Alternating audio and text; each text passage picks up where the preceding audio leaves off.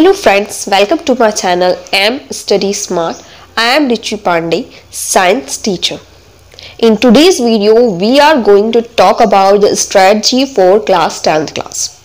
Firstly, we discussed about our syllabus. So CBSE deducted much of the portion and now we have to just learn or discuss four chapters in biology. So first one is life processes, another is how do organisms reproduce, third one is heredity and evolution. But in this chapter, uh, the portion of evolution is deducted, so we have to just discuss about heredity portion. Then last chapter is our environment. So there are four chapters we have to discuss for our board exams. So now the things comes what are the key point we should keep in our mind so that we can score more and more?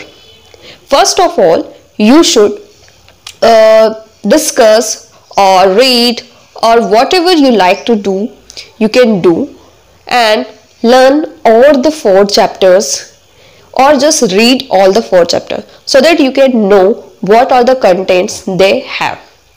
Then you should try to make diagrams related to different chapter. And one of the most thing is that labeling of the diagram is important not its quality. So you should learn the labels of the diagrams. Don't pay more and more attention over its quality. Just learn their labelings and make some raw or sketch type diagrams, line diagrams. And if you are not as good as in diagrams, then you can use flowcharts for this. These types of flowcharts or mind maps are also uh, helpful in scoring in your exams. Nextly, we should know our thing. Okay, every student has their own type of learning and own method and their timings are also different.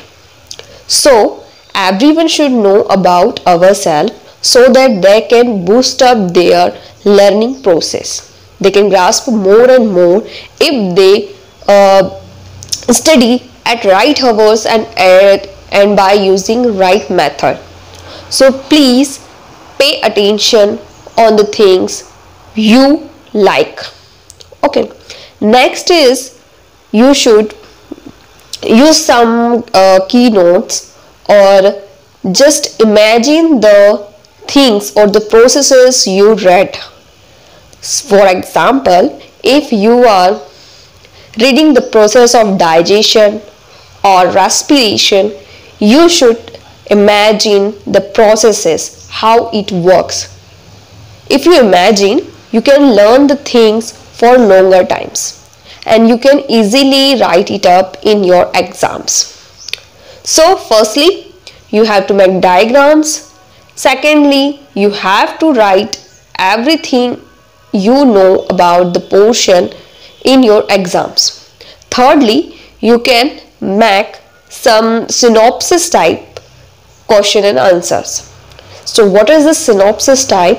So, for example, if the question about digestion, so in digestion various systems is involved, various parts is involved and uh, you have to uh, elaborate many of the things in the, in the questions.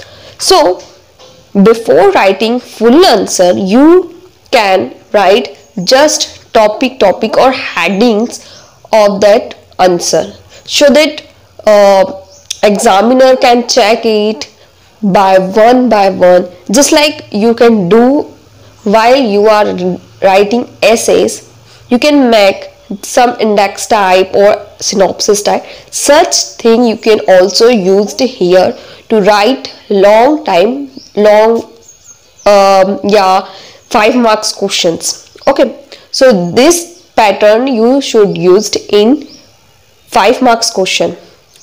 Okay now you can also uh, learn the things by understanding them not by rote learning for example if you uh, read any of the technical terms like phenotype, genotype. So what are these things? So phenotype, so what is this pheno and what is this type? And that what is genotypic?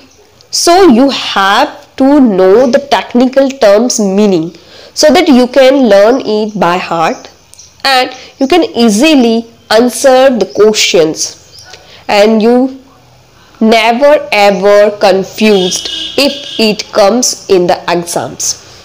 So here is some of the points for making your strategy. You can make it on your in your own way but just try to remember these things and used it up in your strategy so that your marks will boost up.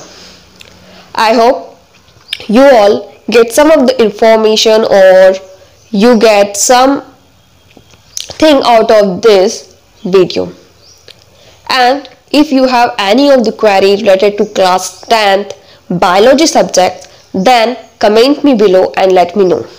I will sort it out as soon as possible so thank you for now. Bye bye